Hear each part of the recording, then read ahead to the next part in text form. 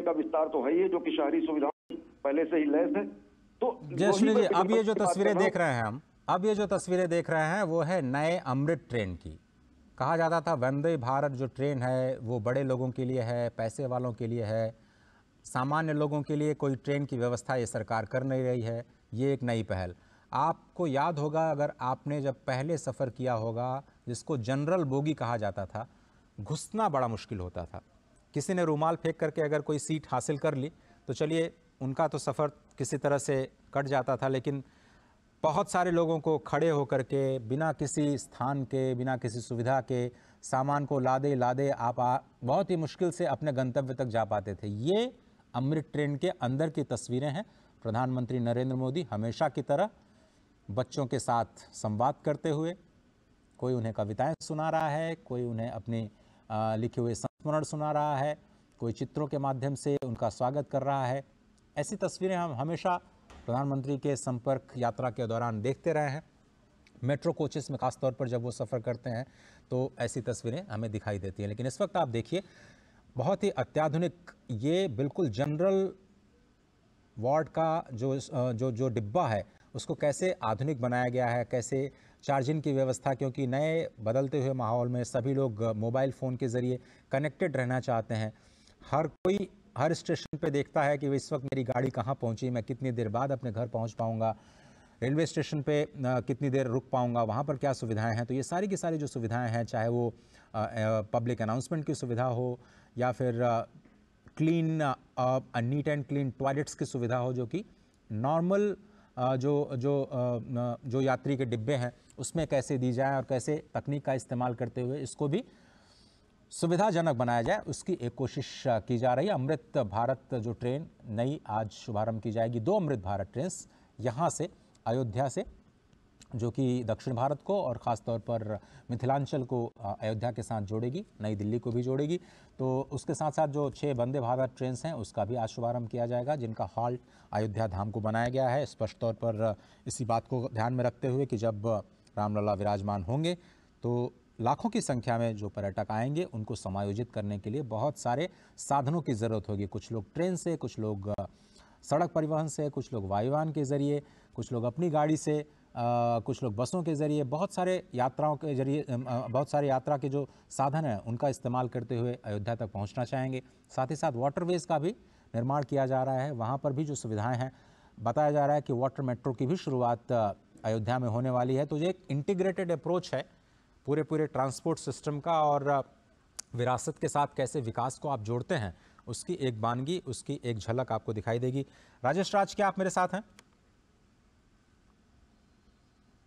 या अश्विनी जी? जी अजय जी। जी तो मैं आपसे ये समझना चाह रहा था कि ये जो नई पहल की जा रही है अमृत अमृत ट्रेन के ज़रिए जो आज अमृत भारत ट्रेन और जैसा कि हम बार बार ये कह रहे हैं कि अमृत काल में भारत प्रवेश कर रहा है ये जो नई शुरुआत है इस वक्त आप देख रहे हैं हरी झंडी दिखा करके अमृत ट्रेन को रवाना करने की तैयारी हो जा चुकी है। ये बिल्कुल लाइव विजुअल्स अमृत ट्रेन अब रवाना अयोध्या के अयोध्या धाम रेलवे स्टेशन से हाँ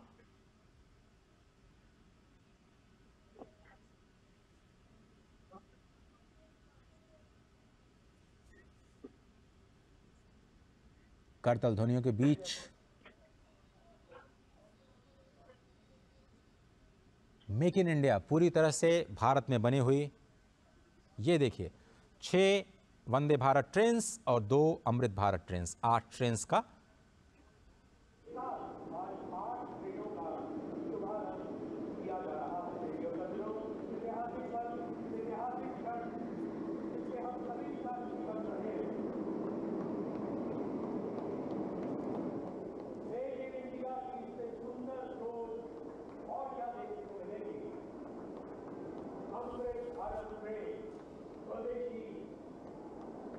अपने भारत की ट्रेन अमृत काल के अंदर चलाई जा रही अमृत भारत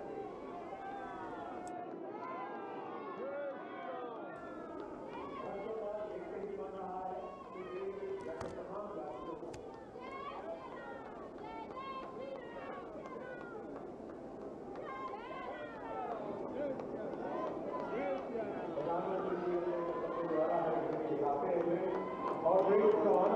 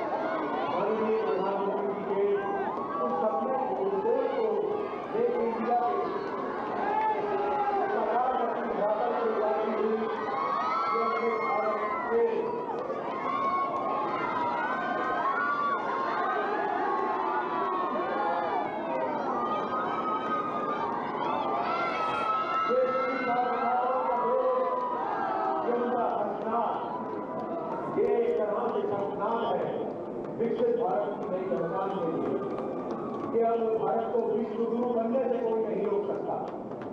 ये विश्वास कि अमृत भारत से स्वदेशी निर्मित भारत में निर्मित अमृत भारत से प्रधानमंत्री जी सभी अभिवादन स्वीकार करते हुए, उनकी हौसला अफजाई करते हुए, आज मिलाकर उनका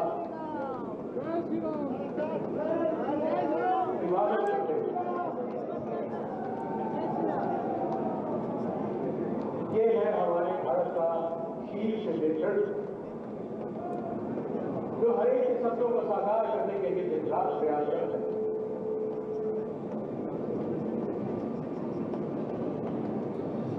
हम आभारी हैं। हृदय से आभारी हैं, आभार प्रकट करते हैं। भारत के यशस्वी प्रधानमंत्री जी। जिनके आगमन में आज इस धरा पर इतिहास बचा है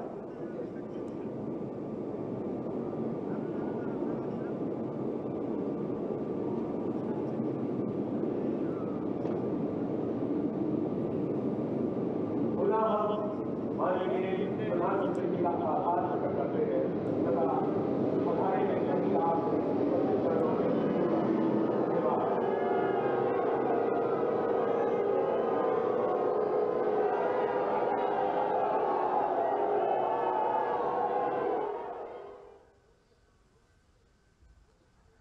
अयोध्या धाम में आठ ट्रेन्स की सो जो सौ, सौगात है वो मिल चुकी है। स्पष्ट तौर पर आपने देखा कि छः वंदे भारत ट्रेन्स और दो अमृत भारत ट्रेन्स, उनको भारत को समर्पित किया गया।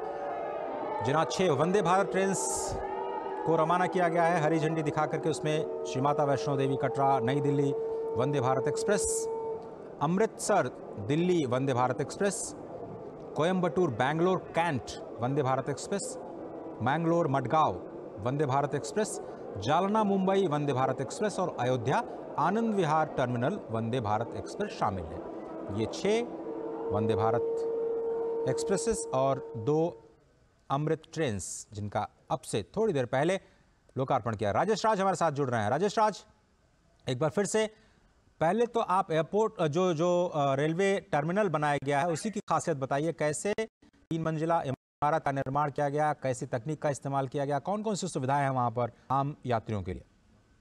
देखिए, जो एयरपोर्ट पर जो सुविधाएँ अजय बहाल की जाती हैं, वो तमाम सुविधाएँ वहाँ पर हैं। और, जो तीन मंजिला, तीन फ्लोर का पूरा इमारत तैयार किया गया है, जब उसके बीच